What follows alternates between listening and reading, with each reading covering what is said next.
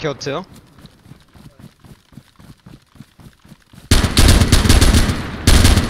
It's a big sounding gun.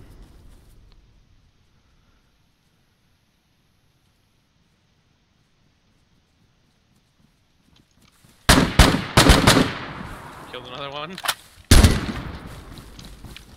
Oh my